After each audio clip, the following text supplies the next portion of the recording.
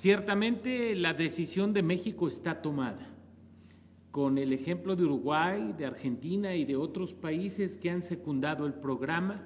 México emprenderá a partir de este año, como lo hicieron los uruguayos, primero focalizadamente y después de manera nacional,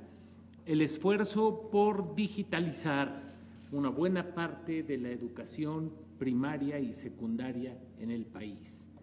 En México tenemos la firme convicción de que la educación es ante todo un derecho humano básico de cada persona y que los estados, a través de sus gobiernos, tienen la responsabilidad ineludible de hacer efectivo ese derecho. Construir espacios de,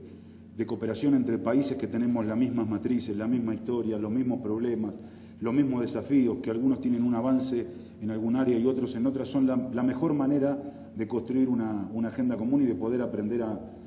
aprender a, a enfrentar esos, esos problemas. A nosotros nos gusta mucho mostrar lo que hacemos, mostrar los logros que tenemos y también nos gusta mucho ver los logros y las cosas que han hecho los otros, los otros países. Un gran número de estudiantes no logran terminar los ciclos educativos respectivos y aquellos que logran completar los ciclos muchas veces lo hacen sin haber adquirido los rudimentos, habilidades, valores y actitudes que necesitan para integrarse al mundo del trabajo y convertirse en ciudadanos productivos. La región de América Latina y el Caribe aún presenta disparidades y algunas de ellas muy grandes, muy graves, para cubrir las perspectivas de llevar la educación a los grupos sociales más pobres, vulnerables y desfavorecidos de nuestras sociedades.